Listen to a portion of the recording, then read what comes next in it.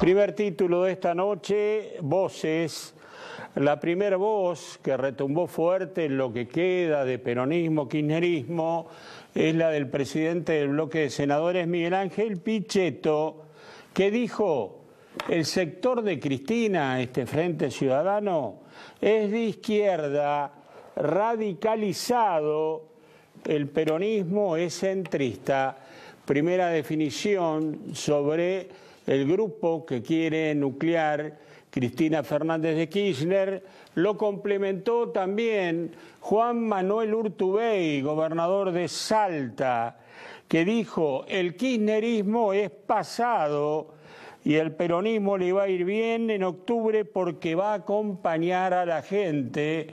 Otra crítica importante, en este caso del gobernador de Salta.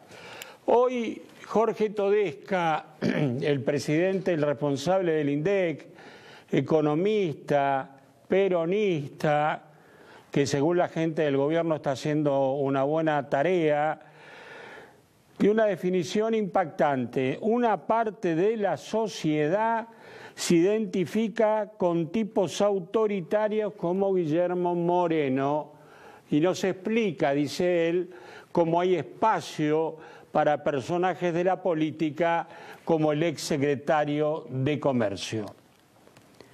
Segundo tema y segundo título, se vienen los cambios, donde en la Cancillería, con la asunción del nuevo canciller Jorge Forí, hay dos temas a seguir en cuenta. Primero, Forí quiere cambiar la estructura de la Cancillería, quiere que haya menos burocracia, más control, va a haber auditorías, se van a generar auditorías, va a haber traslados. De hecho, el embajador en Paraguay, país donde tuvo el conflicto Elisa Carrió, fue trasladado a la Argentina. Pero el otro tema más importante es la decisión que tomaron Macri y Marcos Peña la Cancillería tiene que ser un instrumento económico, tiene que buscar ventajas económicas y comerciales para la Argentina, la van a enfilar por ese lado.